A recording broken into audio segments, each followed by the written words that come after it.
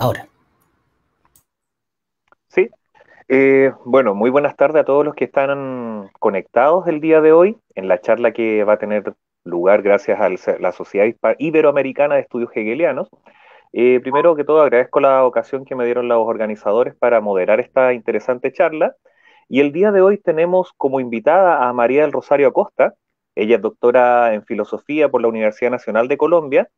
Es autora de varios libros. Tuve la oportunidad de eh, ojear su eh, bastante productiva labor intelectual en su currículum que está online y tuve que resumir a uno un par de libros para no, no abrumarlos. ¿ya? Es autora del, texto Narrativas de la Comunidad, de Hegel a los pensadores impolíticos, también de la tragedia como conjuro, el problema de lo sublime, Friedrich Schiller, y Silencio y arte en el romanticismo alemán, entre otras obras y artículos de, revistas que ha publicado, capítulos de libros y distintos tipos de investigación. El día de hoy nos va a dar la charla eh, cuyo nombre es Desaparición y Terror, la crítica de Hegel a la violencia soberana. María del Rosario, es un gusto tenerte con nosotros. Por favor, adelante. Muchas gracias, Juan. Bueno, yo me tomé muy en serio la invitación que me hicieron de dictar una charla completa sobre Hegel para hegelianos. Así que van a ser unos 40 minutos, algo densos, para que se entienda y se logre, digamos, desarrollar algo del argumento.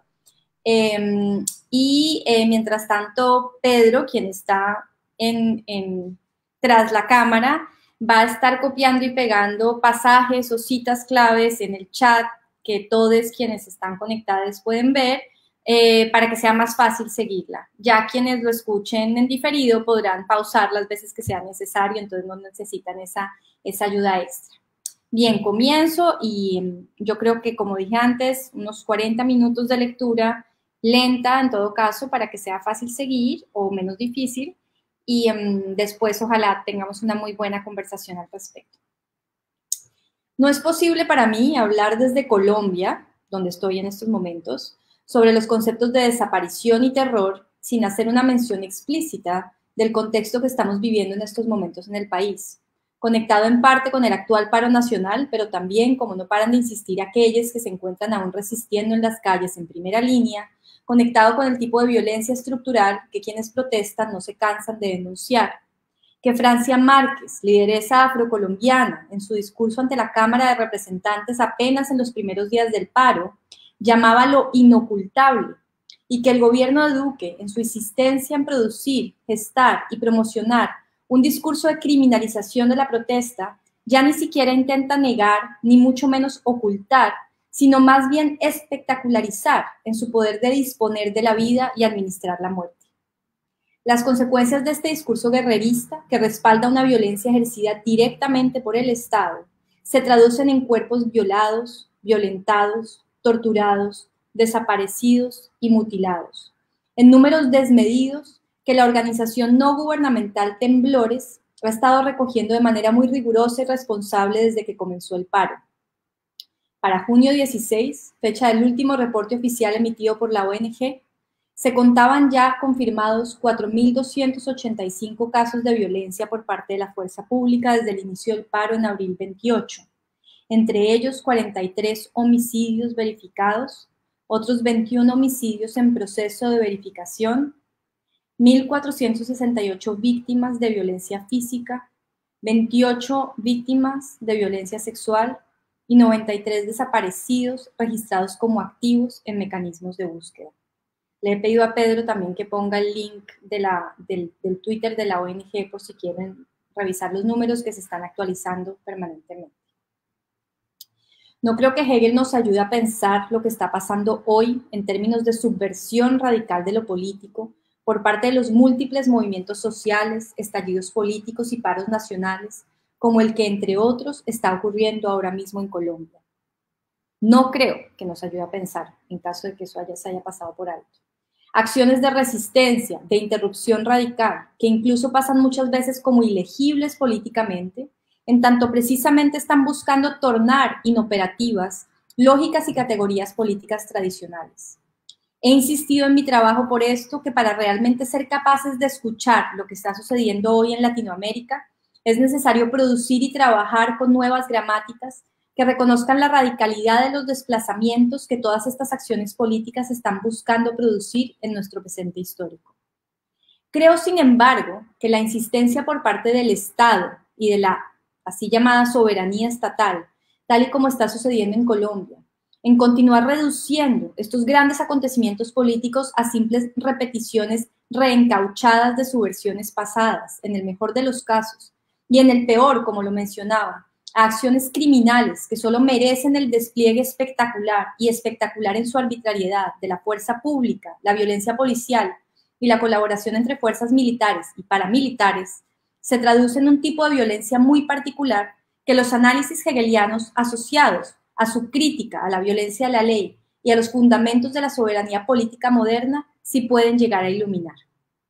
Como he buscado mostrar en otros lugares, creo que análisis de la violencia singular de la poscolonia, como los producidos por autores como Jean y John Komarov y Aquile Membe, que más que localizados en los territorios poscoloniales, como lo afirman los Komarov, se traduce en una condición poscolonial global, o el concepto de soberanía como borradura, que Van Bargu trae a colación en una aproximación muy iluminadora a las maneras de operar la soberanía en el contexto postcolonial, pueden abrir a la posibilidad de una lectura muy productiva de Hegel, por supuesto en algunas ocasiones más allá de y a pesar de Hegel mismo, pero en otras, como intento hacerlo en mi trabajo con Hegel, ayudándonos a rescatar y a entender la lucidez y complejidad de algunos de sus argumentos, y con ello también su pertinencia a la luz de las lógicas que aún operan en el presente y cuyas consecuencias más devastadoras ya se encontraban al menos intuidas en algunos de los análisis más incisivos de Hegel al tipo de violencia que yace en el corazón mismo del concepto de soberanía y en la interpretación moderna de la ley que resulta de aquella. En lo que sigue, quisiera apuntar a un aspecto muy específico de todo esto, conectado con lo que he llamado, siguiendo análisis recientes de Angelica Nuzzo en su trabajo con la ciencia de la lógica, una tipología de la violencia en la filosofía hegeliana. En el caso concreto que nos ocupa, me interesa rastrear lo que Hegel en sus escritos más tempranos, de la época de Tübingen, Berna y Frankfurt, analiza bajo el concepto de positividad, que en un proceso de desarrollo del concepto, que pasa por una relación cada vez más estrecha con una modalidad unilateral de operación de la abstracción, termina conectado con un tipo muy particular de violencia. Una violencia de la abstracción, si se quiere que resulta de un intento positivo de fijar como definitivo y último el momento necesariamente transitorio de la abstracción. Lo que quiero hacer a continuación es mostrar los lados más concretos, fenomenológicos e histórico-políticos de lo que Hegel describe en sus escritos tempranos como la violencia de la positividad, que se traduce, como veremos a continuación, en esta doble cara de la violencia que Hegel describe bajo las ideas o imágenes que dan título a mi charla hoy, es decir, las ideas o las imágenes de la desaparición y el terror. Se trata de dos caras concretas de la incidencia de la positividad de la abstracción en el mundo práctico, que llevadas a sus extremos, como veremos, representan la amenaza de una violencia radical, una violencia que se transforma exclusivamente en fin para sí misma, una violencia, por tanto, que se vuelve incluso contra sí misma, reproduciendo en su operación un círculo ininterrumpido y letal. Ya en los escritos tempranos de Hegel sobre religión, pero mucho más claramente desde Frankfurt, en los fragmentos conocidos como El espíritu del cristianismo y su destino, aunque Hegel no les dio ese título, ese título se los dio Noll al reunir esos fragmentos en un solo texto, esta violencia parece asociada con una crítica de Hegel al derecho y a una concepción moderna de soberanía estatal que Hegel, el joven Hegel, asocia con la idea de legalismo. Así, en sus críticas a lo que Hegel llama la positividad de la religión judía en estos fragmentos de Frankfurt, Hegel está preocupado por encontrar los antecedentes históricos y conceptuales de un pensamiento ético-político que él ve reflejado de manera clara en su época en las concepciones del Estado moderno y en las ideas de derecho y vida política que se derivan de su constitución. En su crítica del legalismo, vemos así a Hegel, interesado en comprender el tipo de relaciones que una concepción positiva del derecho instaura en el mundo de las acciones humanas. Relaciones que, como veremos, reproducen y se encuentran mediadas por un tipo muy particular de violencia que a juicio de Hegel se encuentra en la fundación misma de la ley y no solo en los efectos de su aplicación, sean estos necesarios o contingentes, legítimos o ilegítimos. Quisiera pasar pues brevemente por algunos de los momentos claves de este argumento y de las críticas a lo que podríamos llamar por ahora la violencia del legalismo y leerlas en una especie paralelo con el movimiento de la libertad absoluta y el terror, tal y como aparece descrito en la fenomenología del espíritu. Movimiento que se encuentra, como sabemos, estrechamente conectado con una lectura filosófica de la experiencia histórica de la Revolución Francesa y su consecuente régimen del terror. Creo que una mirada conjunta a las críticas que Hegel desarrolla en cada uno de estos textos y al tipo de violencia que está buscando reconstruir y desentrañar, abre posibilidades para comprender elementos y matices de los argumentos que, a mi juicio, no aparecen hacerse del todo evidentes en un estudio separado de cada uno de estos textos. Dejaré de lado para efectos de esta charla la mayoría de lo que tiene que ver con el trabajo de genealogía, detallada del concepto en los escritos más tempranos, aunque algo mencionaré sobre eso, y me concentraré entonces sobre todo en este análisis paralelo de la crítica de Hegel a las consecuencias devastadoras de la violencia a la positividad de la ley en el espíritu del cristianismo y su destino y en la fenomenología. En última instancia, creo que lo que más me interesa con este rastreo es mostrar cómo dichas formas de violencia tal como lo insiste Aquile Membe, por ejemplo, con su nación de necropolítica, no son contingentes, sino al contrario constitutivas, de un modo de operar de la soberanía que no puede prescindir de ellas, pues se encuentran en el fundamento de su autoridad. Y como Hegel ya lo ve con claridad desde su análisis puramente conceptual de la genealogía de dichas categorías en el mundo moderno. Bien, entonces, esa es como la introducción. Como ven, ahí he ido, eh, Pedro nos ha ido ayudando a pegar los pasajes que me parecen más claves para que puedan seguirlas. Y Karen, de acuerdo, a, según tu pregunta, ¿en qué obras desarrollas el concepto de violencia a la positividad? Como lo estaba diciendo ahora en la introducción, yo creo que sobre todo en, en el sentido específico de positividad, esto está en los textos tempranos, Muchos de ellos reunidos en, ese, en esa edición que tenemos en español, preparada por José María Ripalda, que se llama Los Escritos de Juventud en el Fondo de Cultura Económica. Entonces, la mayoría de los textos eh, que desarrollan este concepto y lo que Hegel llamaría la violencia de este concepto están publicados en español en ese contexto. Yo voy a estar citando del español del Fondo de Cultura Económica tanto la fenomenología traducida por Wenceslao Roses como los escritos de juventud preparados y traducidos por José María Ripalda y del alemán la edición de Surka. Entonces en las citas que van a ver siempre va a aparecer primero la paginación en español y después seguida de la paginación en alemán, por si quieren revisar la cita en cualquiera de los dos. Tres partes de mi presentación. Primera parte, una acción doblemente violenta las dos caras extremas de la positividad.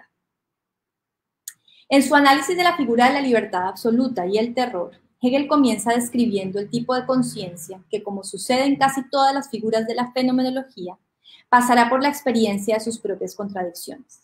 Nos encontramos en un momento particularmente dramático del proceso. Las oposiciones que comenzaron apenas a surgir al comienzo del capítulo del espíritu, con la disolución de la eticidad griega y el surgimiento del Estado de Derecho romano, han alcanzado, dice Hegel, la cúspide del concepto, por lo que lo que sigue será, cito, aquella figura en la que dichas oposiciones se vengan a tierra y en la que la ilustración recoja los frutos de su propio obrar. Fin de la cita.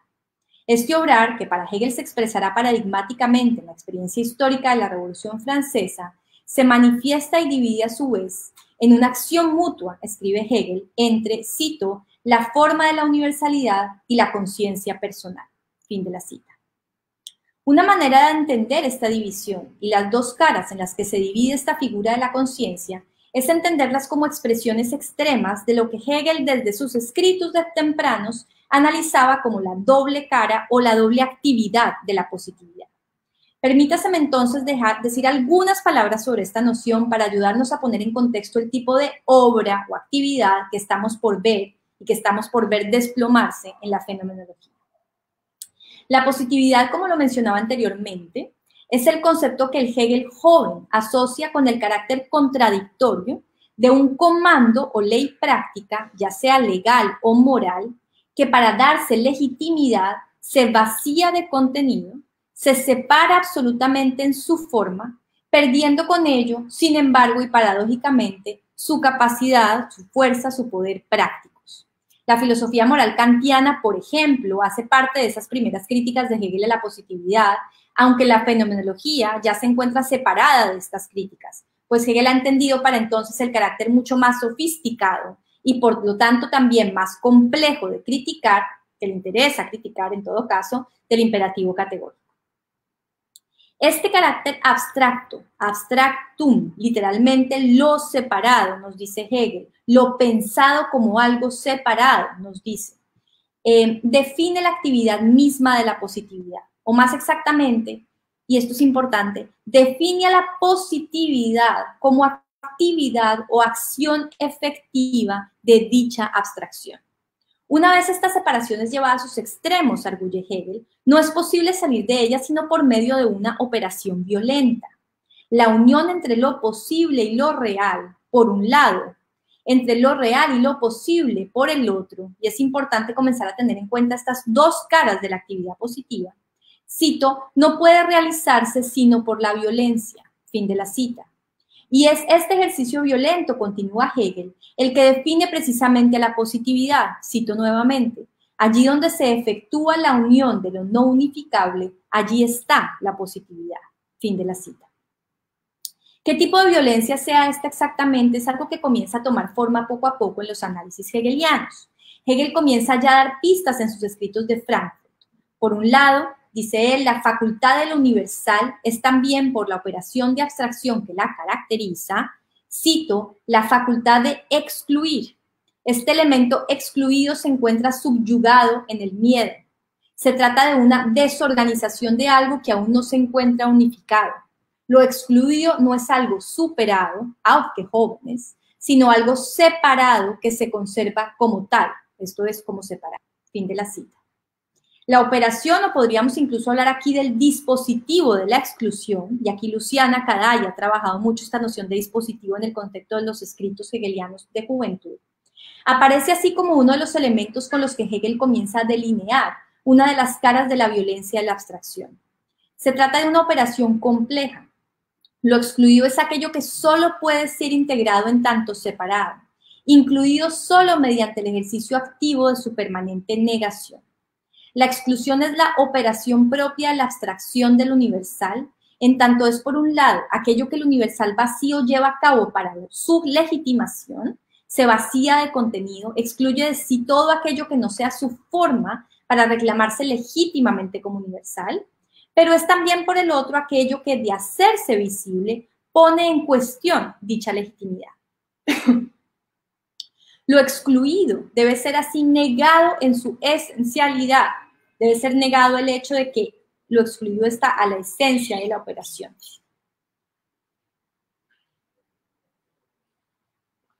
Debe quedar oculto en el proceso mediante el que a partir de su operación el universal se da fundamento a sí mismo. Se trata de la operación que la ley, o aclarar Hegel en otros lugares, la mera forma de la ley, su concepto, su mero concepto, concepto abstracto, se ve obligada a llevar a cabo en tanto preocupada únicamente por la legitimidad de su forma. Se trata de una universalidad vacía. Por el otro, Hegel también destaca el movimiento que resulta de la operación contraria, esto es, del ponerse positivo de lo contingente como universal. Habla aquí también Hegel de una falsa o incompleta unificación, cuya contingencia queda oculta en el proceso mismo de su postulación como universal como deber, dice Hegel, o más exactamente, como único contenido posible de dicho deber. Cito, por lo cual, maneras incompletas de unificaciones que en otros respectos siguen siendo opuestas, se toman por una unificación que debe realizarse. Fin de la cita. Si la exclusión es el dispositivo por excelencia, la primera cara de la positividad, de su universalidad vacía, Hegel se refiere a esta segunda como la violencia de la autoridad. Se trata de los dispositivos violentos, dice Hegel, que resultan del movimiento de una, cito, contingencia de la que nace una necesidad. Cito nuevamente, una conciencia de lo eterno que gobierna el sentir, pensar y actuar, fin de, fin de la cita, y a la base de la cual se encuentra, no obstante, dice Hegel, lo efímero como único fundamento. Estoy citando aquí de la página 425 de los escritos de Juventud. Hegel habla en estos contextos también del riesgo de la tiranía más extrema. Esto lo veremos más adelante. Una tiranía que resulta de una actitud de dominio o soberanía sobre el mundo y que pone al mundo al servicio de su propia voluntad bajo la protección de un ideal que ha sido postulado arbitraria y abstractamente como único, infinito y universal. La responsabilidad de la filosofía, Hegel lo tiene cada vez más claro, es la de desentrañar los mecanismos que conducen al ejercicio de esta tiranía, tanto como a la violencia y la explosión resultante del movimiento vacío de la universalidad. Se trata de dos mecanismos violentos extremadamente complejos, pues cada uno se ejerce desde la legitimidad que les es dada por la autoridad y una idea de universalidad producida, puesta por la capacidad de abstracción de la razón. La positividad, es importante recalcarlo, no es así la abstracción sin más, sino el movimiento complejo por medio del cual esta, la abstracción, tiende a negarse a sí misma, borrando en el proceso las huellas de dicha negación. Volvamos ahora con esto en mente a las dos figuras protagonistas del movimiento de la libertad absoluta y el terror en la fenomenología. Nuevamente cito, recuerdo, lo que Hegel dice son la forma de la universalidad y la conciencia personal. Ambas se caracterizan por ser expresiones extremas, vamos a ver, de esa positividad analizada por Hegel en sus escritos anteriores, pues lo que caracterizará su movimiento, como veremos, es justamente el mismo operativo positivo.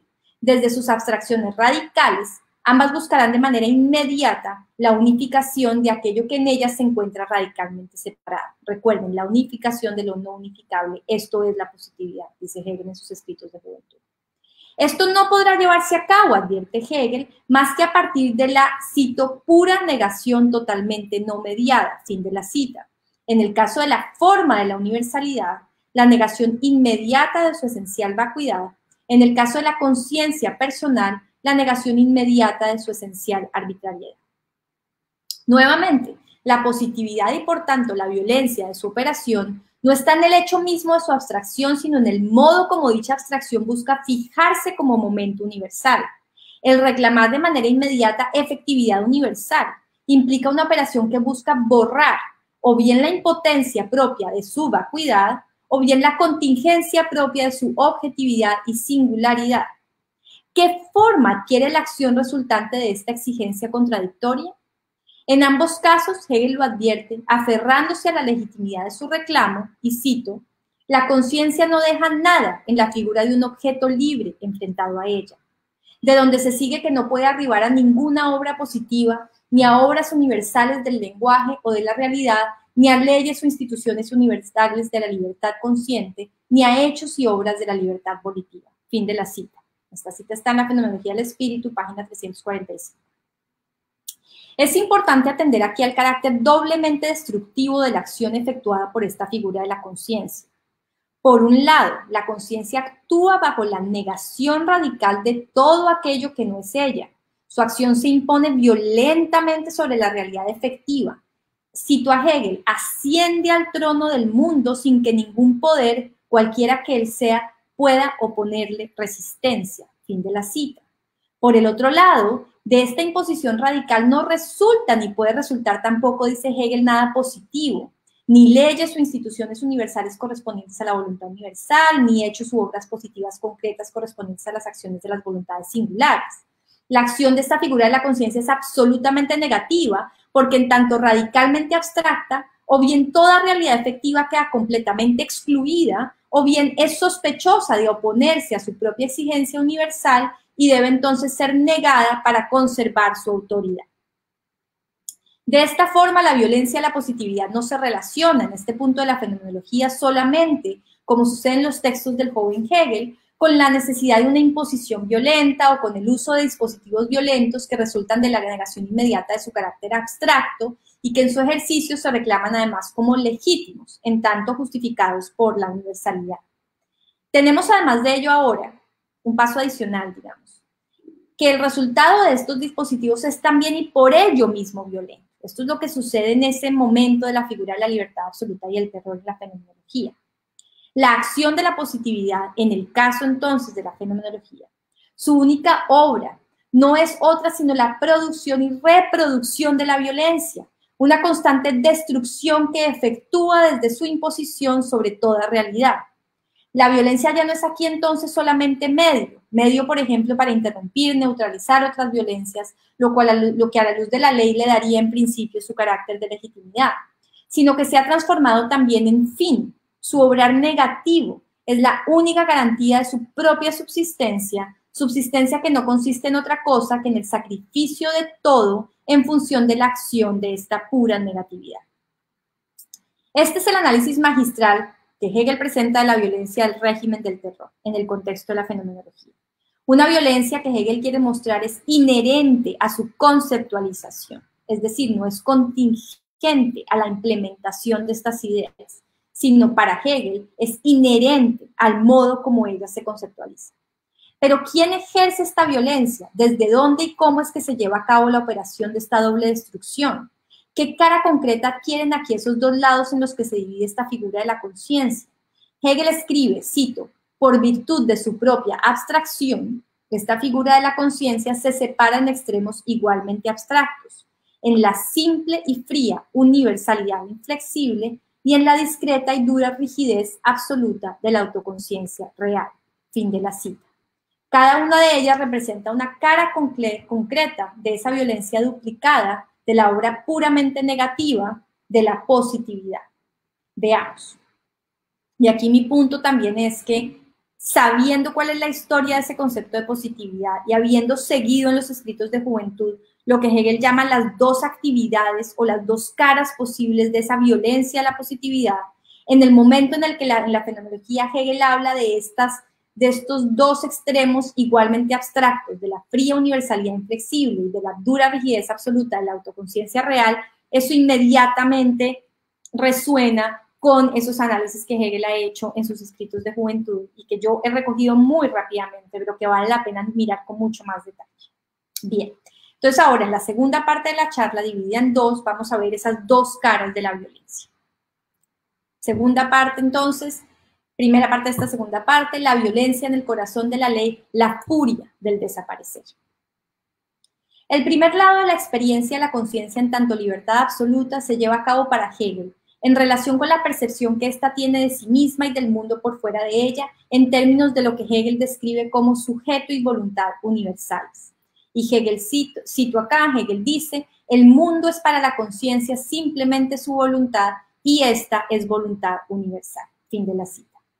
El aspecto clave de esta figura es que para ella, para esta conciencia, esta universalidad no es sin más una universalidad vacía.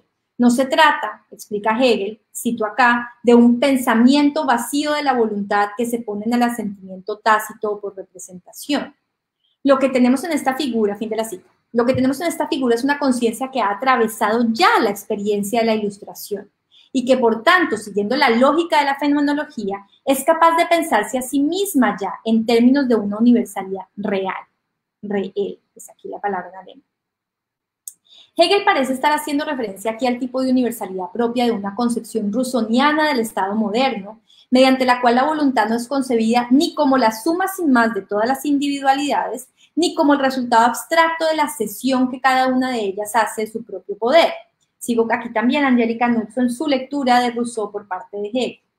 La legitimidad de la autoridad del Estado y de su expresión en la ley encuentra su fundamento aquí en el hecho de que, cito, cada conciencia singular capta su sí misma como el concepto de la voluntad, fin de la cita, esto es, en la forma misma de la universalidad. Esta es la forma, pues, que se manifiesta en el reclamo de la Revolución Francesa y en las concepciones de poder y soberanía universales que se encuentran atadas a sus demandas. Cito nuevamente a Hegel. En la libertad absoluta se han cancelado, por tanto, todos los estamentos sociales. La conciencia singular que pertenecía a uno de esos miembros y quería y obraba en él ha superado sus fronteras. Su fin es el fin universal. su lenguaje la ley universal y su obra la obra universal. Fin de la cita. Esta universalidad, no obstante, tendrá para Hegel que atravesar aún por la experiencia de sus propias contradicciones. Se trata de una universalidad que en su operar se topará con su carácter eminentemente abstracto, una abstracción que se traduce en el proceso en la violencia de su positividad, en la terquedad que le proporciona su convicción. La libertad absoluta, cito, no se deja arrebatar la realidad de dar ella misma la ley y de llevar a cabo por sí misma no una obra singular, sino la obra universal. Fin de la cita. Pero, escribe Hegel, cito nuevamente, para que lo universal arribe a un acto tiene que concentrarse en lo uno de la individualidad y poner a la cabeza una autoconciencia singular. Pero con ello quedan excluidos de la totalidad de este acto todos los otros singulares, por donde el acto no sería acto de la autoconciencia real universal. Por tanto, Ninguna obra ni actos positivos pueden producir la libertad universal. A dicha libertad solo le resta lograr negativo. Es solamente la furia del desaparecer. Fin de la cita. El aspecto concreto que adquiere todo esto en el análisis de Hegel tiene que ver con una cara oscura, escondida, presente en el fundamento mismo de las ideas que dan lugar en primera instancia a la Revolución Francesa y que Hegel da en conexión con las nociones de ley y Estado que se encuentran a la base de su conceptualización. Detrás de estas nociones opera un tipo de violencia que Hegel está interesado en sacar a la luz. Se trata de una violencia extraña, muchas veces invisible, en tanto opera más allá de toda acción individual. La libertad absoluta, dice Hegel, lo cito, no se encuentra en los hechos ni en los actos individuales. Fin de la cita. Es una violencia que se ejerce por y desde la universalidad de la ley y que por lo tanto aparece usualmente cobijada bajo el abrigo de su legitimidad. La verdad de la libertad absoluta es esta violencia que se revela en la experiencia de su actualización, la cancelación que ella lleva a cabo en sí en tanto autoconciencia abstracta, escribe Hegel, cito, de toda diferencia y todo subsistir de la diferencia. Fin de la cita. Hegel no se detiene mucho más en este aspecto de la violencia propia de esta figura de la conciencia en la fenomenología. Sabemos por ahora que se trata de la simple y fría universalidad inflexible, nos ha dicho él, conectada con lo que también Hegel ha escrito como la furia del desaparecer. La mayoría de las lecturas de este momento de la fenomenología relacionan demasiado rápidamente, a mi parecer, esta idea de la furia del desaparecer con lo que viene inmediatamente después en el texto, lo que Hegel llama el acto de la libertad universal, que como veremos en la siguiente y última sección de mi exposición corresponde a la experiencia del terror. No ayuda tampoco que más tarde, en las lecciones sobre filosofía del derecho, Hegel fusione nuevamente estos dos momentos en lo que describe allí como la furia de la, de destrucción. Sin embargo, yo insistiría en distinguir aquí dos momentos distintos, la furia del desaparecer del momento del terror. Y por tanto, dos tipos de violencia que si bien se encuentran estrechamente relacionadas, no pueden sin más identificarse pues sus actores son distintos en cada caso y así lo son también sus efectos concretos y el tipo de destrucción que ejercen sobre la realidad en la que actúan. Si en la fenomenología Hegel no desarrolla en detalle la experiencia de esta violencia, basta con regresar a las críticas al legalismo en el espíritu del cristianismo en su destino para comenzar a darle una cara mucho más concreta a esa violencia ejercida por y desde la abstracción de la ley que Hegel llama la furia del desaparecer.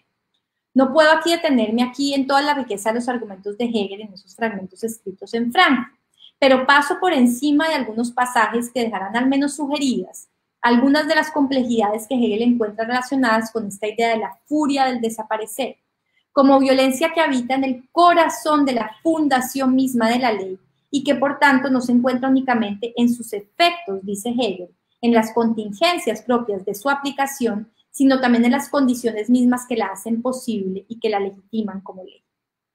En palabras del mismo Hegel, no se trata solo de que, cito, la ley por su manera de ser tenga una acción y un efecto separadores, fin de la cita, abstractos, y en esta abstracción, como hemos visto, violentos, sino sobre todo de que, cito nuevamente, ella se vuelve únicamente posible bajo la condición de la separación, fin de la cita. Y con ella entonces bajo la condición abstracta que trae consigo la operación misma de la desaparición. Así, en los fragmentos de Frankfurt, conocidos como el espíritu del cristianismo y su destino, Hegel muestra cómo es el mismo movimiento que ha dado paso al vínculo entre los individuos y la ley, es decir, el movimiento por el cual la ley se hace posible, el que a continuación, en un revés paradójico, hace al individuo desaparecer ante el ejercicio del poder de la ley. La positividad de la ley, señala Hegel, consiste en que desde su abstracción solo puede relacionarse con aquello que queda cobijado por ella a través de una reducción de la singularidad de su objeto a una posibilidad ideal carente de todo contenido concreto. Para juzgar, es decir, para investirse de poder, dice Hegel, la ley debe subsumir su objeto bajo la vacía universalidad de su concepto. Esto coincide, sin embargo, como hemos visto antes, con la impotencia a la base de su legitimidad. Aquello que la inviste de poder es a la vez el movimiento mediante el cual la ley se muestra en toda su debilidad, dice Hegel. Cito, este subsumir a otros bajo el concepto manifestado en la ley puede llamarse debilidad porque lo que juzga no es suficientemente fuerte para soportarlos enteros y por eso los divide. No puede mantenerse frente a su independencia y por eso los toma no como lo que son, sino como lo que debieran ser. Fin de la cita. La ley se muestra incapaz en su abstracción de concebir y por ello mismo de afrontar, cito, la riqueza de las vinculaciones llenas de vida. Fin de la cita. Esta capacidad de relacionarse con la riqueza de la vida, la capacidad, dice Hegel, de sentir, cito acá Hegel nuevamente, de sentir todo el corazón de los otros, de percibir toda la armonía y la disonancia de su ser, de reconocer sus límites y su destino, sus vínculos, fin de la cita. Un modo de relación capaz de concebir, cito nuevamente, el intercambio de todos los pensamientos, de todas las variaciones del alma, buscando diferencias infinitas y encontrando infinitas unificaciones, fin de la cita. Todo esto es lo que queda por fuera del lenguaje abstracto, de la rigidez fría e intransigente de la ley. Así, al juzgar, continúa Hegel, la ley no puede sino someterlo todo a la universalidad vacía de su concepto. Se trata, dice Hegel, de una tiranía en el pensamiento, de la tiranía del juicio, y a través de la cual la ley ejerce ocultándola su propia debilidad.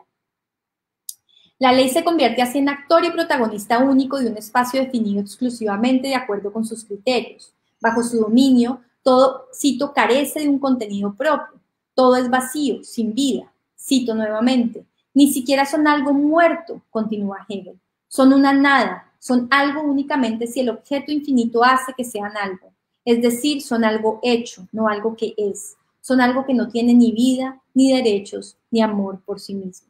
Fin de la cita.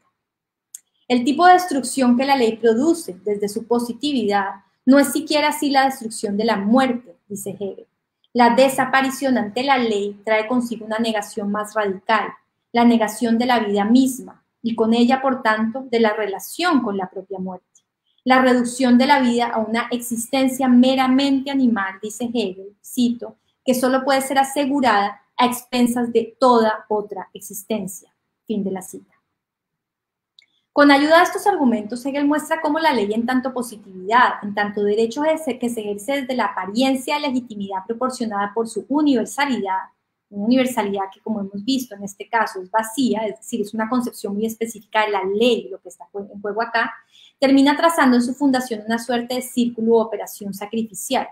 En sus intentos por resguardar su propia capacidad de implementación, su propio poder, Hegel muestra cómo la ley se vio obligada a sacrificar toda singularidad en virtud de la preservación de su propia universalidad. La furia de la desaparición, veíamos en la fenomenología, es la operación mediante la cual la autoconciencia abstracta cancela no solo toda diferencia, sino todo subsistir de la diferencia. Esta es la cara escondida de la ley, el movimiento que ésta lleva a cabo en su intento por borrar la impotencia que resulta de su abstracción. Al interior de la ley todo se encuentra, por tanto, y de manera inmediata a su letal disposición. Cito, mientras las leyes sean lo más alto que existe, escribe Hegel, es imposible retirarlas y lo individual será sacrificado al universal y herido de muerte. Fin de la cita. Todo esto queda mucho más claro además si se examina con calma en estos fragmentos de Frankfurt. El análisis que Hegel lleva a cabo del derecho penal, en cuyo movimiento se hace visible de manera paradigmática lo que Hegel ha tratado de mostrar como la violencia en la fundación de la ley. La ley presupone para Hegel una violencia que no obstante oculta y por ello mismo además reproduce violencia, la duplica en lugar de interrumpir. Dejo esto de lado, sin embargo, junto con, otros elementos conectados con esta violencia del desaparecer, para que podamos pasar para terminar a esa segunda cara de la figura de la libertad absoluta. Esto es la violencia del terror.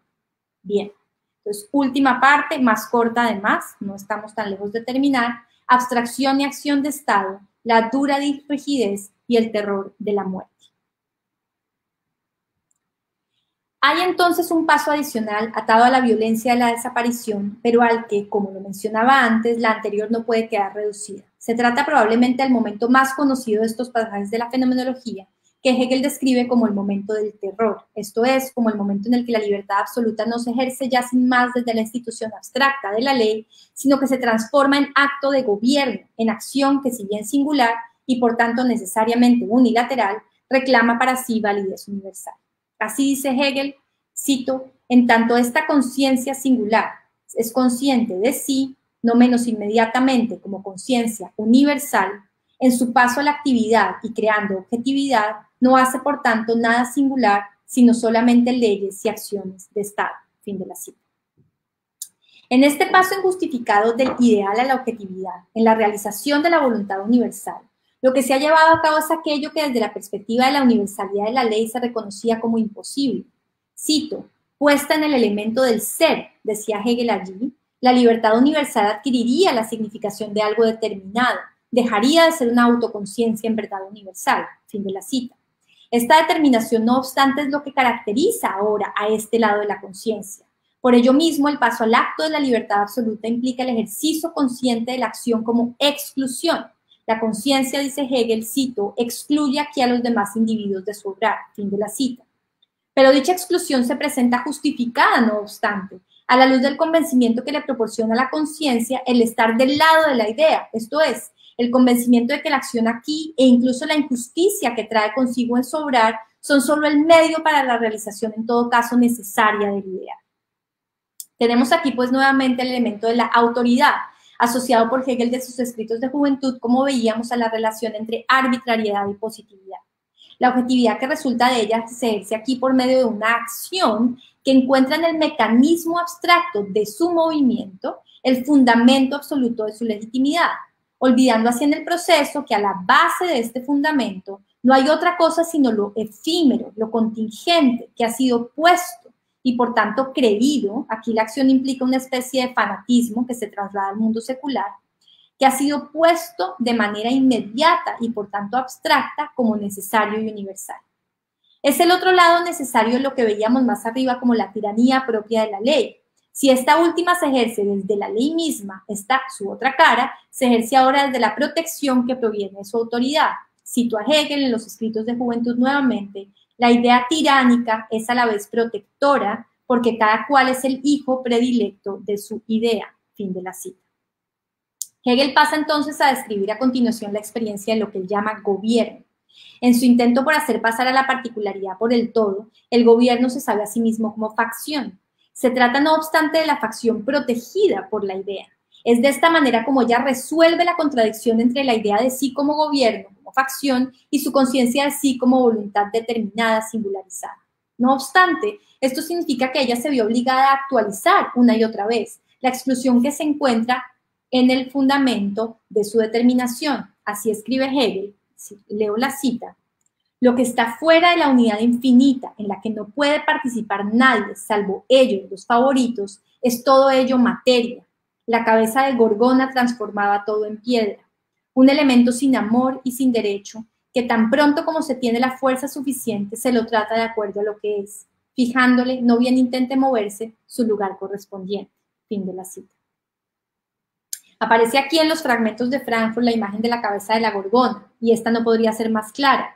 El efecto petrificante, la dura rigidez absoluta a la que Hegel hace referencia en la fenomenología, con la abstracción propia de la acción de la libertad absoluta, esto es de la autoconciencia real. La implementación de la ley como acción de Estado se traduce así en un, dice Hegel, gobierno sin piedad, en el que se ejerce la tiranía más indignante y exterminadora frente a toda vida. Esto nuevamente es una cita de los escritos de juventud. Y lo que Hegel tiene en mente en estas descripciones es la experiencia histórica del régimen del terror en la Francia revolucionaria, o mejor, pues no podemos olvidar que nos encontramos aquí en el camino que recorre la conciencia a través de sus figuras conceptuales, lo que muestra la experiencia histórica del régimen del terror es el desarrollo ejemplar, quizás incluso paradigmático, de una violencia que se aloja en toda idea de aquello que Hegel ha descrito aquí como gobierno y como acción de Estado. Se trata de la misma lógica que habita el movimiento general de la libertad absoluta, esta vez entendido, sin embargo, desde el lado de la particularidad en tanto el ideal al que se aferra el gobierno no se encuentra ni se reconoce nada positivo, toda la realidad resulta sin más sospechosa de traer consigo una determinación distinta, diferenciada a la exigencia del universal. Se lleva a cabo así lo que Hegel describirá como la seca cancelación propia de este puro terror de lo negativo, estoy citando, que no lleva en sí nada positivo, nada que lo cumpla. Fin de la cita.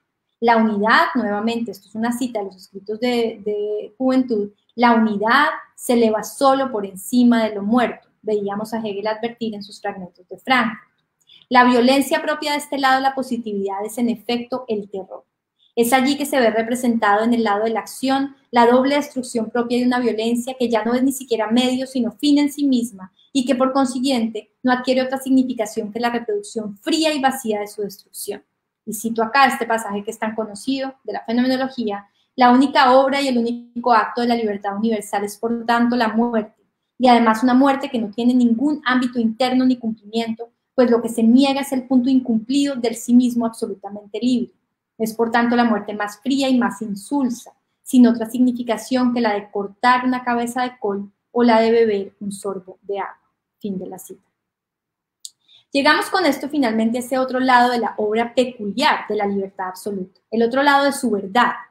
Cito a Hegel, el terror de la muerte es la intuición de esta, su esencia negativa. Fin de la cita. Es el resultado final concreto del tránsito absoluto del puro pensamiento a la pura materia, un resultado doblemente destructivo en su ejecución, como lo era también, como veíamos, el doble círculo sacrificial trazado por la experiencia de la ley. La expresión más pura de la positividad, concluye Hegel en la fenomenología, es aquella, cito, pura voluntad universal que en su abstracción última no tiene nada de positivo y que por tanto no puede devolver nada para el sacrificio. Fin de la cita. Termino con unas pocas conclusiones. Las dos caras de la violencia que he buscado describir hasta aquí encarnan en efecto los peligros que subyacen a una forma de positividad que en su absoluta abstracción rompe incluso con la economía de medios fines usualmente asociada a una crítica de la violencia. Se trata de una violencia, repito aquí las palabras de Hegel, que no devuelve nada para el sacrificio, que se transforma en fin para sí misma y para la que la distinción entre legitimidad e ilegitimidad desaparece ante el movimiento anárquico completamente abstracto que subyace a la base de toda soberanía y que Hegel habría visto ya con claridad la gestación de las ideas modernas, ilustradas, de derecho, gobierno, Estado y ley. Habría que regresar sobre todas y cada una de estas ideas y lo que nos interesa no es solo, como lo he hecho hasta aquí, recorrer y entender los distintos momentos del argumento hegeliano, sino también rescatar su pertinencia, como lo sugería yo al comienzo, para una aproximación crítica al presente. La investigación que propone Hegel de la gestación y fundación de nuestras ideas de derecho, de ley y soberanía junto con los peligros que se derivan de sus determinaciones abstractas modernas, ofrece un recurso invaluable, creo yo, para la elaboración de una gramática filosófica de la violencia.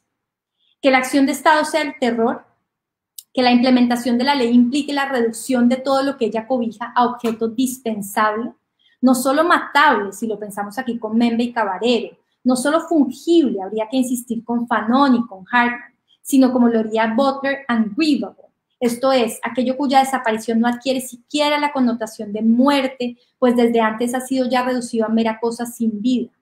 Todos estos son elementos que parecen centrales para pensar el ejercicio de la autoridad del Estado hoy, el despliegue del espectáculo de la soberanía y la espectacularidad de su capacidad borradura, como lo señala Bargo, precisamente allí donde, como lo señalan los Komarov, esta se sabe cada vez más carente de legitimidad. Creo que aquí en la dilucidación de la doble violencia, la desaparición y el terror como violencias constitutivas del ejercicio del poder estatal, está en juego aquello que Arendt en su, en su análisis de los orígenes del totalitarismo había señalado como la necesidad y la dificultad a la vez de encontrar categorías adecuadas para aquello que sobrepasa la capacidad de la más temeraria de las imaginaciones. Quizás el optimismo de Hegel haya sido precisamente pensar que más allá de la imaginación, el esfuerzo doloroso del concepto bastaría para atravesar las contradicciones en el corazón de las categorías modernas de subjetividad, ley y acción, y con ello para conducirlas a su propia destrucción. Entre la imaginación, con su capacidad temeraria, y el concepto, con su incansable terquedad, se abre, creo yo, la brecha del pensamiento subversivo, productor de nuevas categorías, que es forjado por una acción de resistencia inapropiable e inutilizable, parafraseando aquí a Benjamin, para los fines del terror. Quizás, como lo decía al comienzo, tendremos que ir más allá de Hegel para aprender a acompañar esa realidad en su capacidad radicalmente interruptora. Pero quizás también junto con Hegel habría que comenzar por recorrer y develar todas aquellas capas que componen la historicidad del presente y sus fundamentos conceptuales para tornar la crisis del presente precisamente en la posibilidad de su crítica. Muchas gracias.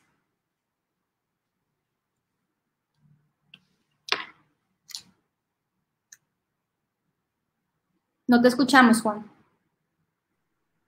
Qué excelente ponencia la que acabamos de tener el día de hoy, es de una claridad impecable, muy amena por lo demás y que por lo menos a mí como lector en este momento del texto que me habías enviado y auditor me permitió refrescar algunas cosas que sobre las que no había vuelto hace bastante tiempo. Eh, lo que haremos en esta parte es abrir la ronda de preguntas y comentarios para dar la posibilidad de generar una conversación con la expositora.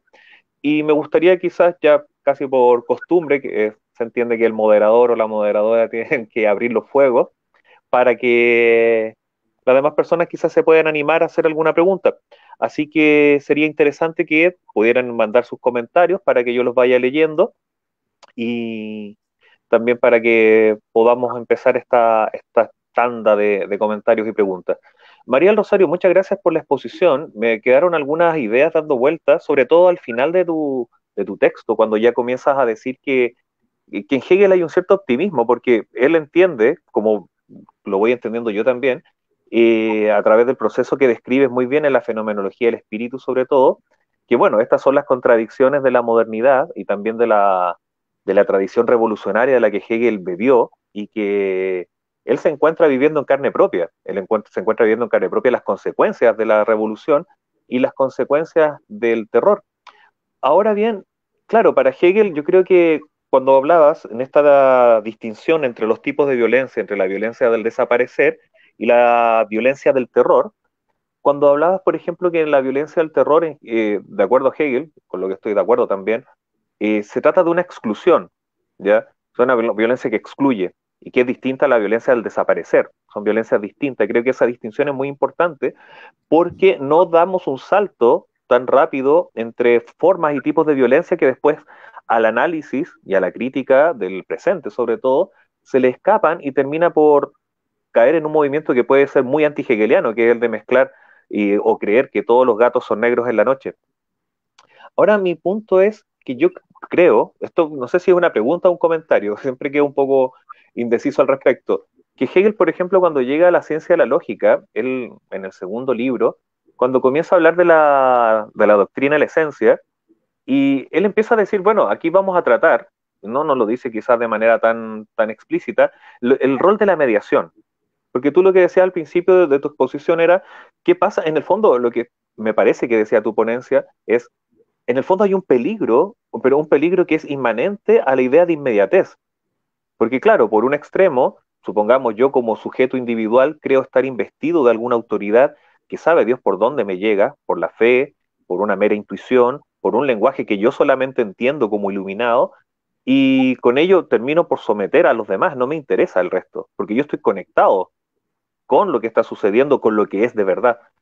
Por otro lado, llega también la inmediatez, como muy bien lo mostraba, de la ley por el lado del desaparecer. Una ley que se autorrefiere a sí misma, pero que no toma en consideración ni siquiera su propia constitución, que en el fondo es el contenido, los casos particulares. Entonces Hegel en la ciencia de la lógica se da cuenta de eso y dice, bueno, ya, démosle una nueva vuelta, pero dentro del idioma del lenguaje lo lógico, y va a incluir una, una reflexión que es la reflexión excluyente. Porque él se da cuenta que en realidad todo proceso de negatividad excluye dentro de ese mismo proceso de negatividad algo, pero ese algo excluido también es parte de él. Entonces ahí me, quedaba, me, resonó muy, mucho cuando decías que sí, hay un optimismo hegeliano, porque Hegel ya cree en, en la lógica, él cree haber resuelto esta contradicción entre forma y contenido, entre inmediatez de la ley que se refiere a sí misma o del sujeto que se cree investido de alguna autoridad, y con eso ya él cree que nos está entregando algunas herramientas. Ahí uno después hace la valoración personal, si acaso ese optimismo es justificado o no, o si tiene alguna, perdonando el lenguaje, o alguna utilización política. Creo que ahí hay algunos elementos. Y mi pregunta en el fondo, después de este largo comentario, es, eh, ¿ves aquí en el presente histórico en el que nos movemos alguna manifestación aparte de la violencia que denuncias al principio de tu texto, que es la violencia que están viviendo en Colombia en este momento, que también estamos viviendo en Chile, eh, donde se transparente esa idea eh, dogmática de violencia, porque ¿a qué voy con eso? Creo que si hay un aporte, así como muy a la pasada, del idealismo alemán, y creo que sobre todo de Hegel, cuando en el escrito de la diferencia eh, repasa a Jacobi, a Fichte y a Kant, es la idea de que no existe una conexión inmediata de la conciencia consigo misma. No existe nada llamado inmediatez, como no sea algo que oculta una raíz profundamente perversa y violenta. En el fondo, para Hegel, cualquier eh, atisbo de dogmatismo es la idea o la noción de que yo, por ser yo y tenerme a mí mismo demasiado cerca, estoy en conexión con algo que es superior. Por eso la crítica que le hace a Jacobi cuando Jacobi está criticando a Kant y le dice, eh, bueno, esta, esta, idea de subir de lo incondicionado hacia lo condicionante y de lo condicionante hacia lo incondicionado, eh, termina en el salto hacia la fe. Pero ese salto hacia la fe es completamente peligroso, es, de un peligro, como tú bien lo describes, brutal. Entonces mi pregunta es, ¿podrías quizás eh, o tematizar o quizás apuntar algunas otras formas de violencia que respondan a eso que, que Hegel, creo yo, lo denuncia durante toda su vida intelectual. Y de nuevo, te agradezco muchísimo, muchísimo la ponencia, muy, muy, muy clara.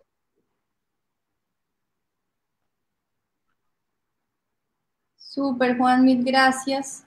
Y no sé cómo queremos proceder. No sé si recogemos varias preguntas o si, o si voy respondiendo una a una, porque no sé si nos da el tiempo. Eh, mm. Podríamos, recoger, podríamos recoger las preguntas, yo te, la, te voy comentando las que, las que tenemos. Y que una dice, ¿a qué se refiere Hegel con que no habría cómo devolver el sacrificio desde el ser o el absoluto? Al final citó dos veces esta frase. ¿A qué sacrificio se refieren que no podría ser devuelto? Sí, Hay otra pregunta de Dianara, Dianaira Valero, que nos hizo un comentario hace un rato felicitando la, ponencia. Dice, atravesamos desde hace más de 20 años por el algo que de furia ha mutado en ira en Venezuela. El desaparecer ha acontecido desde este lado, silenciado ya con muchas muertes y un profundo desencanto que no ha sumido en el letargo. Hay otra pregunta que dice de Renato Valencia, es la relación de ciudadanía la que representa esa abstracta inmediatez por parte del Estado que socava los conflictos inmanentes de la propia socialidad y la negación constante entre autoconciencias. Véase, por ejemplo, la lucha de clases. Y aquí, por último, Andrés Oseguera Montiel dice, ¿qué tipo de violencia vivió concretamente Hegel? Y, la última pregunta que te recojo para no abrumarte ¿Qué lugar ocuparía la eticidad en este análisis de la violencia en Hegel? A Renato le voy a pedir que, explique un poquito mejor en su comentario su pregunta, porque no, no estoy segura de entenderla y no quiero como, como malinterpretar la pregunta. Entonces, Renato, si pudieses como elaborar en otro comentario del chat tu pregunta, te lo agradecería. Y mientras tanto sigan preguntando, que yo soy buena para ir tomando nota y para ir contestando y em, a ver, comienzo por la de la aclaración, porque me parece una buena pregunta para aclarar qué significa que Hegel diga que, es un tipo de violencia que no devuelve nada para el sacrificio. ¿Por qué la repetí y por qué me parece una cita tan potente? Porque creo que ahí es donde yo veo que en la fenomenología, en, en la conciencia que tiene Hegel o como en el análisis el análisis fenomenológico le permite a él entender los extremos a los que puede llegar esa violencia analizado en sus escritos de juventud bajo la idea de la violencia y la positividad. ¿Y qué significa eso en el caso concreto de la violencia de la libertad absoluta y el terror? Significa que, como yo lo decía en algún momento de la charla, aquí ya no se trata únicamente de una violencia que se utiliza como medio, sino de una violencia que se vuelve fin para sí misma. Eso también significa que cuando Hegel en sus escritos de juventud está analizando la violencia de esta forma de ley, de, este, de esta concepción de soberanía y concepción de Estado, que por lo demás para Hegel está asociada con que el fundamento o el vocabulario o la gramática sobre la que están fundados todos estos conceptos es la gramática de la propiedad, pensando en la pregunta de Renato y la lucha de clases. Em, para allí, allí Hegel dice que se trata de una violencia sacrificial. Y yo creo que Hegel es muy consciente, o al menos yo lo interpreto así, que una violencia sacrificial es una violencia que todavía se rige por una economía de medios fines porque en últimas el sacrificio se lleva a cabo para obtener algo a cambio. Hay aquí una lógica del medio de, la, del intercambio que, por ejemplo, Derrida ha analizado como de maneras muy interesantes. Aquí todavía hay una economía en el sacrificio. Pero en el momento de la fenomenología para Hegel, ya ni siquiera estamos hablando de violencia sacrificial. Y creo que eso es lo que es interesante del análisis de Hegel que se trata de una violencia que va más allá incluso de una economía en donde se da algo para obtener algo a cambio. Se trata de una violencia que es fin para sí misma, que ya ni siquiera busca nada más allá de sí misma y de llevarse a cabo, repetirse y ejecutarse una y otra vez. Y por eso es que a mí me parece tan, tan poderosa esa, esa frase de Hegel allí y hay que pensarla con mucho detenimiento y también con mucho cuidado. ¿Qué significa una violencia que deja de ser medio para convertirse en fin para sí misma. Y eso como, digamos, lo vemos en el contexto concreto de sus manifestaciones históricas, digamos, y, fenomenológicas.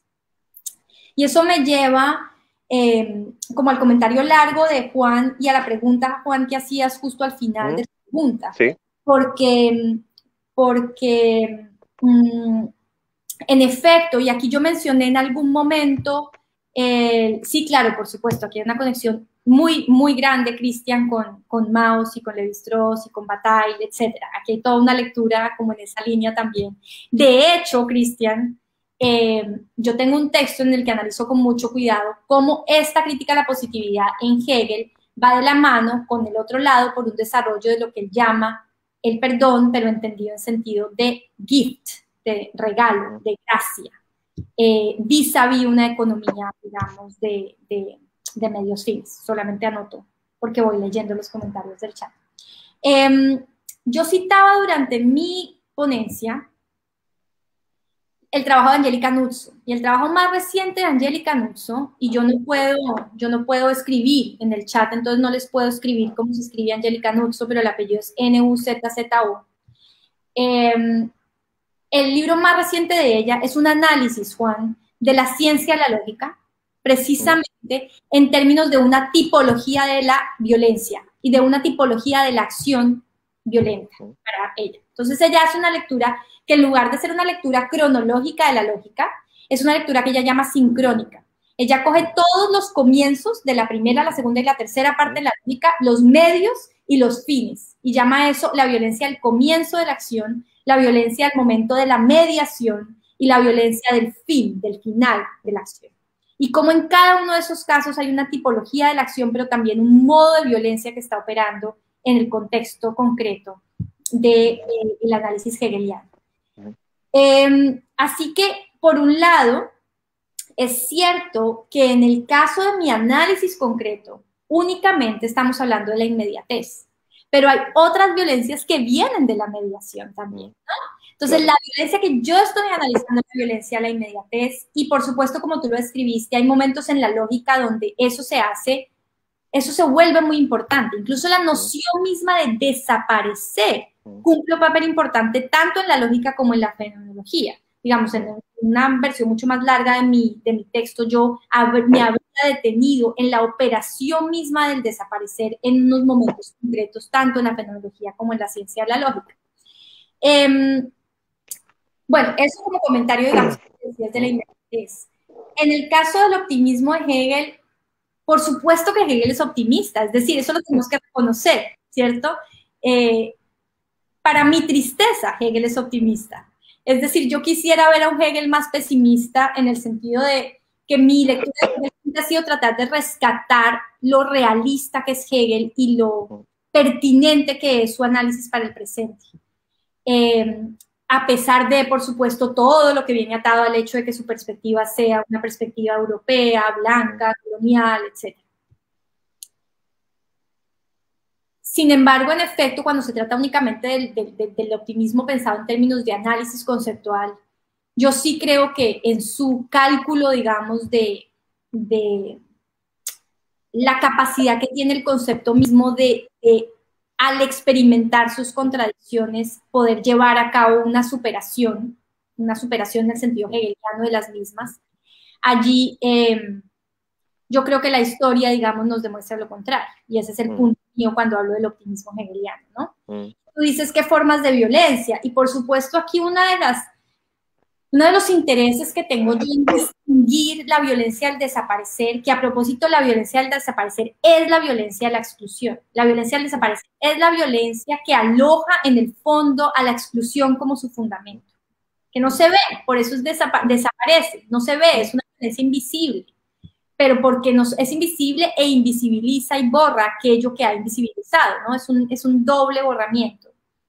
Eh, parte del interés mío en diferenciar la violencia del desaparecer de la violencia del terror es justamente que no se nos escape que la violencia no está solo en esa espectacularidad de la crueldad, que por desgracia, como lo sabes tú y como lo señalaba yo al comienzo, vemos repetido, repetida una y otra vez en, nuestros presentes de múltiples formas. Eh, también hay esa violencia que no se ve, ¿no? como lo, como lo analiza, por ejemplo, entre otras, esta autora a quien le tengo tanto cariño intelectual, Lauren Berlant, que acaba de morir, murió hace dos días, muy joven. Eh, violencia de la muerte lenta, una violencia estructural, una violencia que no podemos, que no se nos puede olvidar en nuestra crítica solamente por el hecho de que la otra es tan espectacular que, digamos, se roba algo de protagonismo.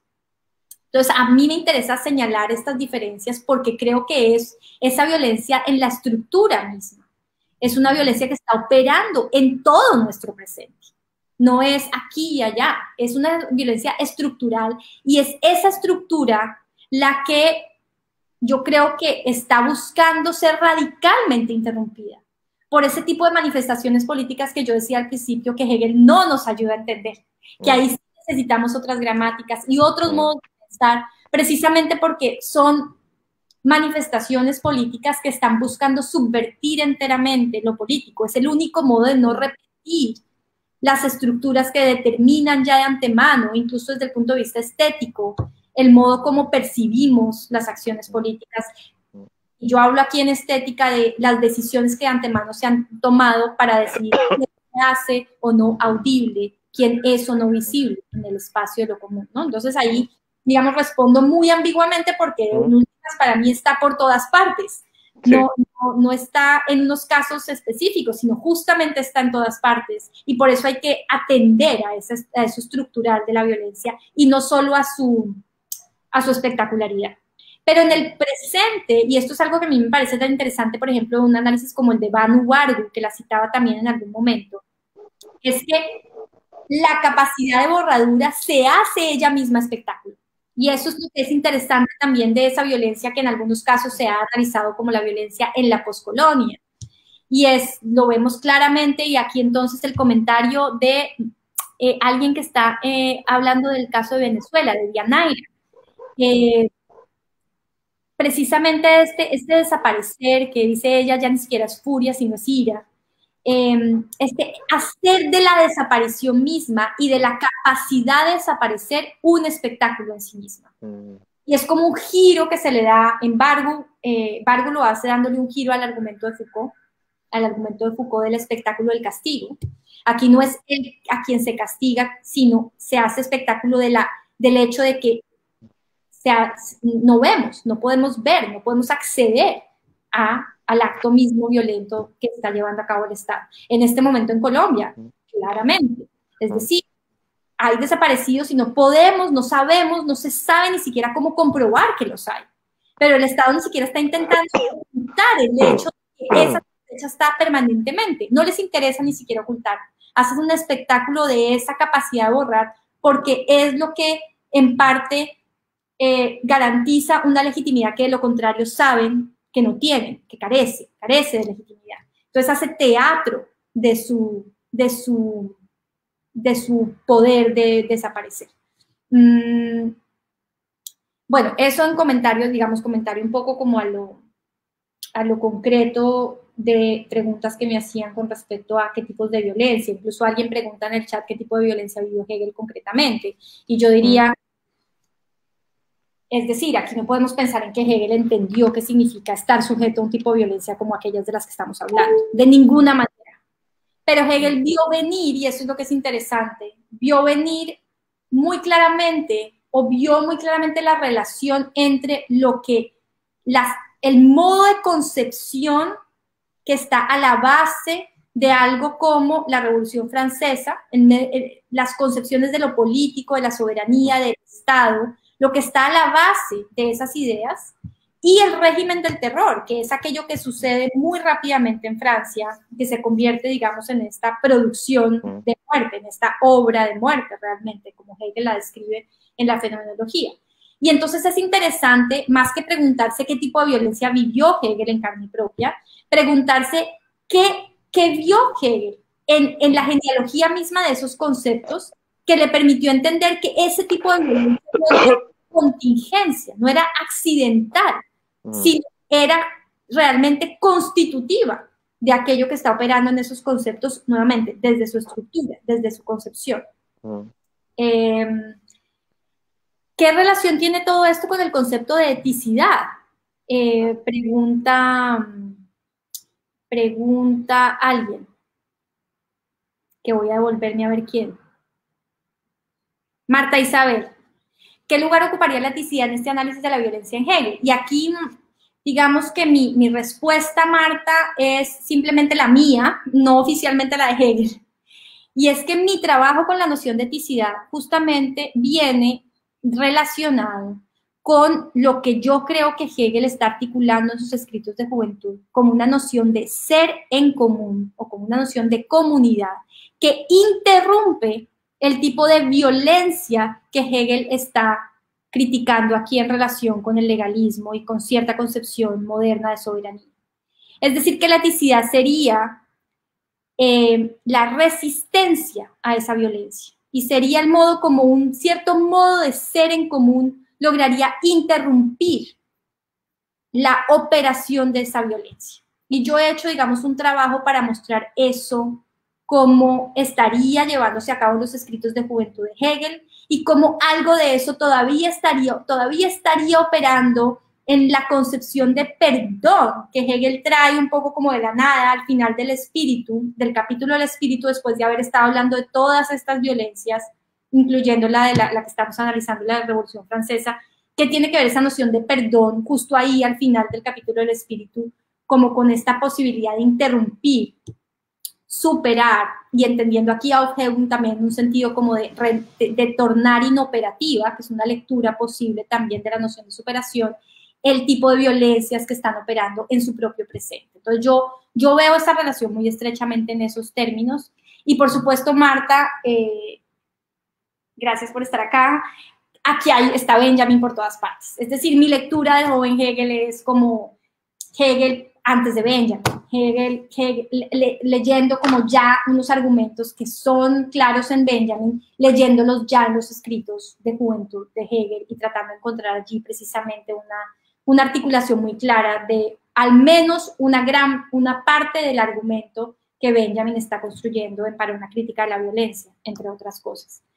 Em, estoy viendo entre los comentarios a una Claudia Rincón y si es la Claudia Rincón que pienso, es quien fue mi profesora de colegio, eh, gracias a quien leía Hegel, la persona que a mis 15 años pensó que a mí me iba a gustar Hegel y que lo iba a entender y no dudó que lo iba a entender. Eh, tuve que enfrentarme después a muchas personas que, pensaría, que pensaron que yo no iba a entender a Hegel. Así que, si es usted, pues toda la alegría me da que esté aquí presente escuchándome hablar de Hegel después de 25 años de haberme tenido como estudiante. Em,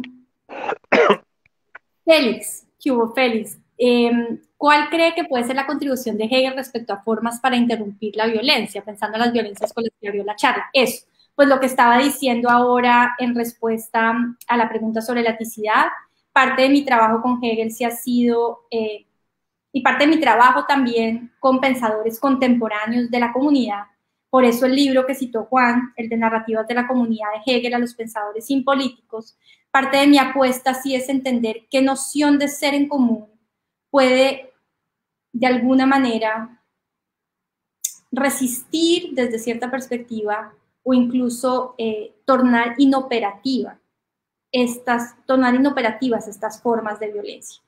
Pero eso lo digo con la conciencia de que eso nuevamente puede sonar muy optimista frente a cómo sabemos que operan estas violencias en el presente.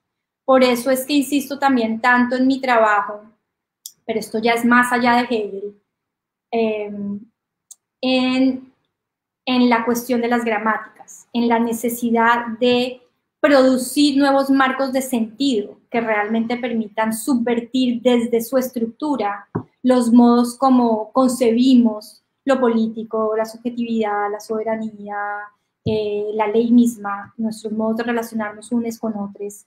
Eh, de lo contrario, pues lo que, lo que, se va, a, lo que va a seguir pasando es una repetición eh, y no una subversión de estas violencias que son estructurales. Pero por supuesto, para explicar todo esto, pues necesitaríamos otra charla como de otro estilo, distinta. Eh, pero, pero, pero Hegel me ha mostrado caminos muy interesantes, al menos para empezar a pensar estos modos de interrupción de esta violencia, en dónde estarían y cómo, cómo se alojarían.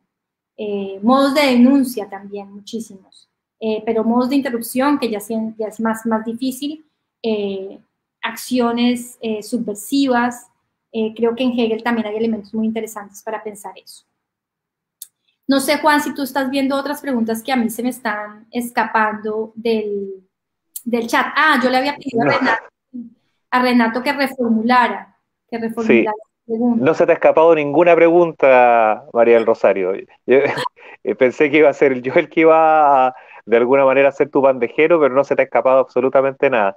Eh, así que podemos seguir. ¿Podemos seguir con la de Renato? Sí, eso, eso. ¿Quieres leerla?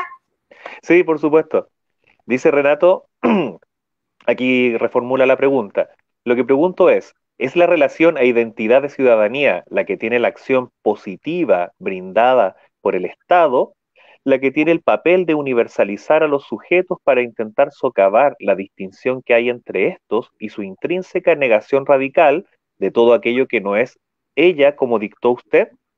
Por ejemplo, el conflicto más claro bajo esta apariencia abstracta de universalización es la lucha de clases. Ojalá lo haya planteado bien. Ahí puso un emoticón. Muchas felicidades, supongo, o felicitaciones. Vale, Renato. Bueno, creo que aquí de pronto estoy entendiendo tu pregunta. No sé. Em, y creo que aquí como que hay dos cosas que podría yo decir intuyendo lo que está detrás de tu, de tu pregunta. Por un lado, En efecto, por lo menos en los escritos de juventud y en muchos de los fragmentos de Frankfurt, sí va a estar eh, presente una crítica a la noción de ciudadanía como uno de los dispositivos. Si te estoy entendiendo bien, yo creo que estás preguntando acerca de eso. Como uno de los dispositivos mediante los cuales se llevaría a cabo este vaciamiento de la ley que yo he descrito acá como violencia al desaparecer. Y entonces la ciudadanía sería uno de esos dispositivos que permiten a la ley vaciar de contenido aquel objeto con el que se relaciona eh, y relacionarse solo con entidades abstractas. Eh, y esas citas de Hegel que son súper poderosas que yo leí del espíritu del cristianismo y su destino, y yo es que de verdad no dejo de emocionarme cuando lea Hegel y yo no sé si eso es muy, eh, si eso es un problema mío que tengo que trabajar, pero tiene unos momentos que son increíbles, como cuando dice que la ley es incapaz de, pensar eh, la riqueza de la vida, cuando dice de sentir todo el corazón de los otros, de percibir toda la armonía y la disonancia de su ser, de reconocer sus límites sus destinos, sus vínculos, el intercambio de todos los pensamientos, de todas las variaciones del alma, buscando diferencias infinitas, encontrando infinitas unificaciones, todo eso es lo que queda por fuera del lenguaje abstracto y la rigidez de, vacía de la ley. Y yo creo que precisamente la ciudadanía en ese caso es uno de esos dispositivos que precisamente permite que la ley se relacione únicamente con un concepto vacío y no con toda esa otra riqueza y ese desorden y ese caos que significa ser quienes somos ante la ley, ¿no? Entonces, si por ahí es que estás haciendo tu pregunta, eh, yo pensaría que claro, que por ahí hay que agarrar para entender uno de esos aspectos esenciales o uno de esos dispositivos que, operan o que están eh, eh, siendo utilizados por, este, por esta, digamos, operación del desaparecer, tal y como la describe Hegel. Y entonces, y yo tengo toda una nota al pie inmensa en este texto, porque no la quise leer, yo pienso aquí también que Hegel está haciendo en el fondo una crítica a, y lo tengo aquí anotado porque justamente lo pensé mucho escribiendo la charla, pero pues no lo leí, que con esta furia al desaparecer creo que Hegel está pensando incluso en una crítica al carácter abstracto y con ello positivo de la Declaración de los Derechos del Hombre y del Ciudadano, y en la traducción de los principios de la Declaración al Código Civil de 1804, y en la relación estrecha entre la idea de propiedad y la definición de esos derechos. Entonces, pues ahí, Renato, tú apuntas a cosas que yo también he pensado y que me parece que es clave pensar a la hora de entender la diferencia entre ciudadanía y una perspectiva como una perspectiva como la de Marx, por ejemplo, y la lucha de clases, que es lo que traes tú también en tu pregunta, si estoy entendiendo bien el sentido ahí de la, de la mención de, de la lucha de clases. Mm. Aquí hay otra pregunta de, de Sí, la autora de La muerte lenta es Lauren Berlant. Es que como no puedo escribir, B larga E R L A N T. Ella tiene un libro eh, muy bueno en el que trabaja eso desde unas perspectivas muy bellas, muy interesantes, muy conmovedoras, que se llama Cruel Optimism, optimismo cruel. Eh, muy, muy recomendada y muy tristes estamos eh, por su muerte tan reciente. Em, el espíritu de la violencia podría ser ciencia en Hegel. Fernando, no entiendo ahí sí necesitaría como que... Necesitamos contexto, una, quizá una elaboración un poco, poco más cercana a la, pregunta. Sí. ¿Qué otros filósofos contemporáneos o filósofas? No sé si notó Cristian que yo sobre todo cito mujeres, mujeres mm. hegelianas, pero no es arbitrario. Eh, fue una mujer la que me llevó a Hegel y son las mujeres hegelianas las que más me inspiran. Eh, ¿Qué otras filósofas contemporáneas? Sí, eh, leo, claro, eh, pues nuevamente lo que estaba diciendo, hay este libro en el que desarrollo el pensamiento de los pensadores impolíticos, a mí me interesa mucho ahí establecer una relación, digamos que aparece solamente tácita, creo yo, en las discusiones sobre comunidad contemporáneas, con Jean-Luc Nancy, con George Agamben, con Roberto Espósito, con Jacques Derrida. Pero más recientemente, y esto es un texto que ahora estoy escribiendo y sobre el que estoy trabajando, estoy trabajando justamente la relación entre cierta noción de comunidad inoperativa, que yo encuentro ya en Hegel, y eh, el pensamiento de la comunidad de los feminismos decoloniales latinoamericanos. Y ahí entonces estoy trabajando autoras como Raquel Gutiérrez, como Silvia Rivera Cusicanqui, como Marisol de la Cadena, em, por citar algunas, y no ponerme a una lista eterna de nombres, que realmente hacen un trabajo muy interesante. También allí los comunitarismos indígenas eh, en el contexto latinoamericano, en el contexto andino, em, y también las resistencias desde, desde, desde, la noción de comunidad alternativa, incluso en, en movimientos afro a lo largo de Latinoamérica, en el Caribe.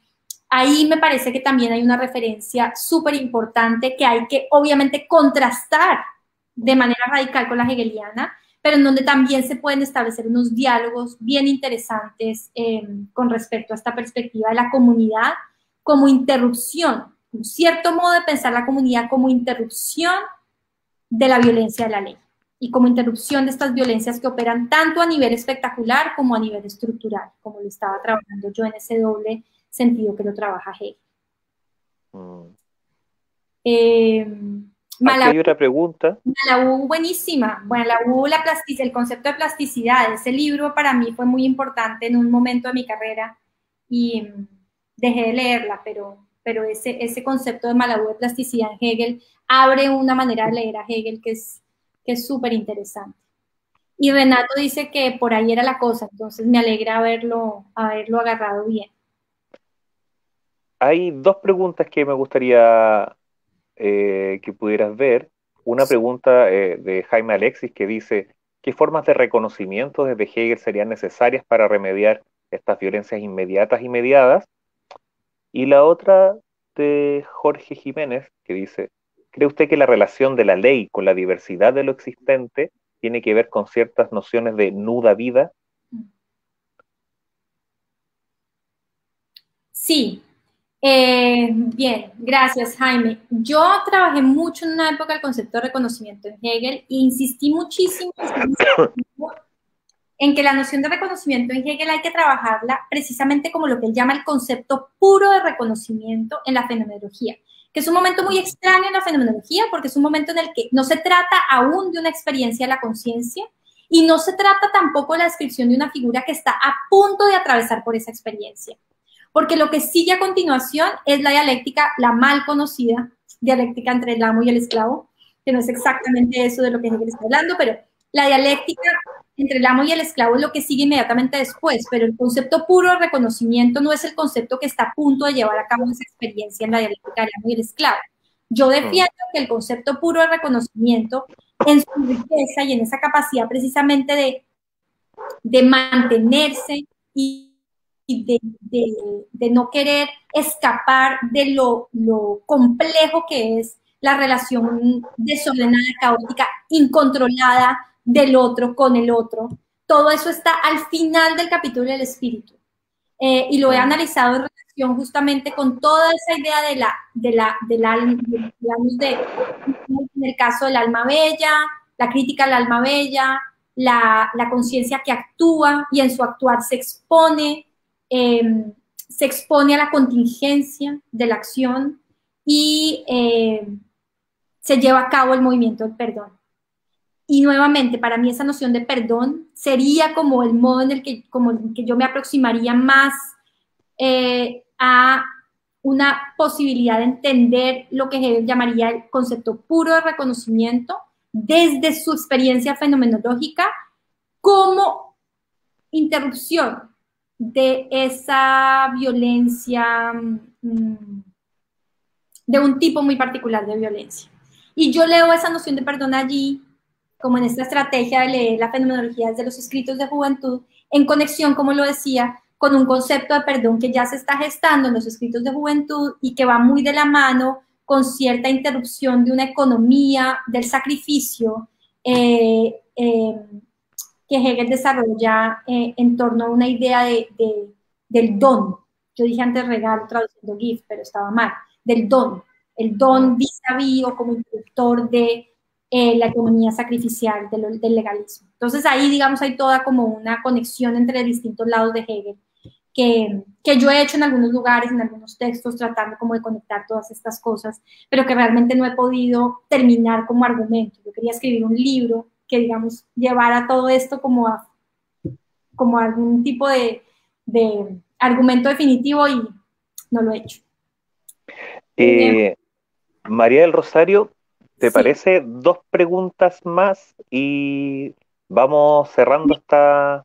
esta la vida. Sí, claro, te, eh, eh, a lo que me refiero es que cerramos con la última pregunta que nos hizo Yadira Contreras. Sí. Y pues, ¿te parece? Y también para nuestros eh, telespectadores, y que, lo de, que sería esa la última pregunta que, con la que cerraríamos esta ponencia. ¿Ya?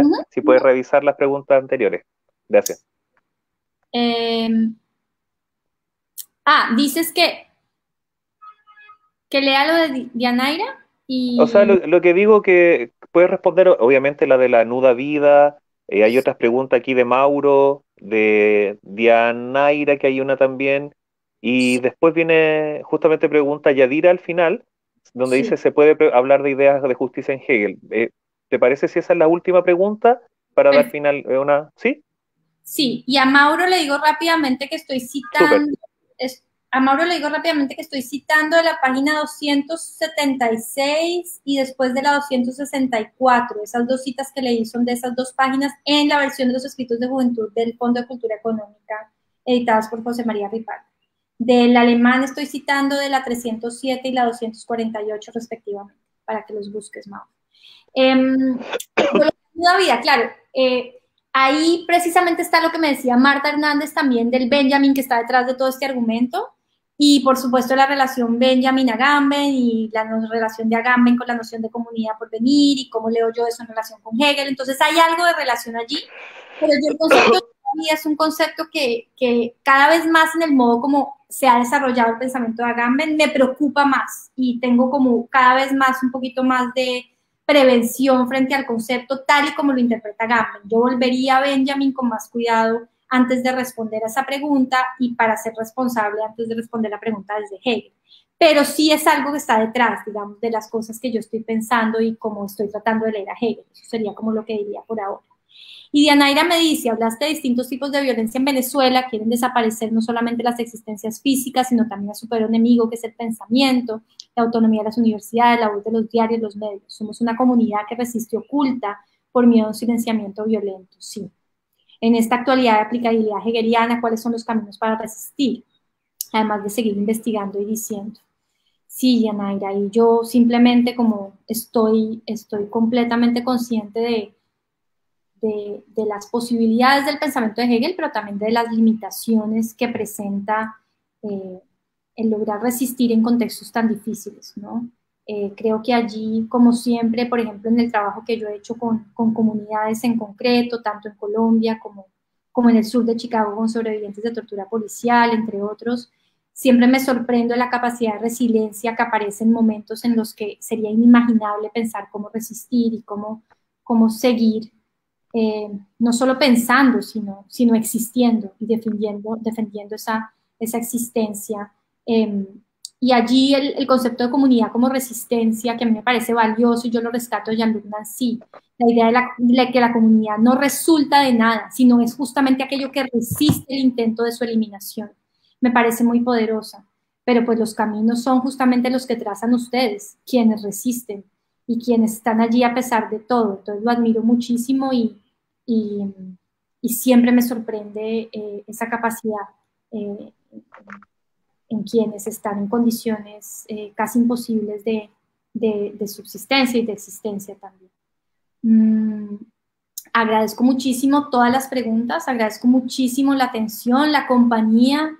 Eh, Hegel para hegelianos, y esto estaba lleno de gente, eh, no me lo esperaba. muchas gracias por la escucha, sobre todo, muy valiosa, muy valiosa para mí, le agradezco muchísimo. Y muchas gracias, Juan, a ti por por tu compañía, por la moderación, por, por la, el comentario general al comienzo de, la, de, la, sesión de preguntas y gracias a la Sociedad Iberoamericana de Estudios Hegelianos, a Pedro Sepúlveda, quien estuvo allí todo el tiempo ayudándome a copiar y pegar citas, organizó todo, hizo el afiche, se encargó de todo y mm, bueno, gracias a todos por, por estar. Sí, María del Rosario, te agradezco muchísimo la, ponencia, de verdad la encuentro muy, muy refrescante y me va a hacer volver de cabeza a los textos del joven Hegel, porque son textos que tenía bastante abandonados y que ahora con esta lectura eh, creo que me aparecen con otra, bajo otra luz. Y te agradezco muchísimo porque al mismo tiempo que fue una conferencia muy, muy rigurosa, fue muy, muy, como lo puedo decir, clara de entender y te tomaste todo el tiempo para responder las preguntas con mucha claridad y mucha amabilidad. Así que le doy las gracias a nuestra expositora el día de hoy. Los invito para la próxima o las próximas sesiones. Les doy las gracias a las personas que se conectaron y a la Sociedad Iberoamericana de Estudios Hegelianos. Muchísimas gracias por eh, darnos esta ocasión para rizar el rizo por enésima vez en torno a Hegel. Muchísimas gracias y nos vemos para la próxima. Hasta luego. Muchas gracias. Chao, chao.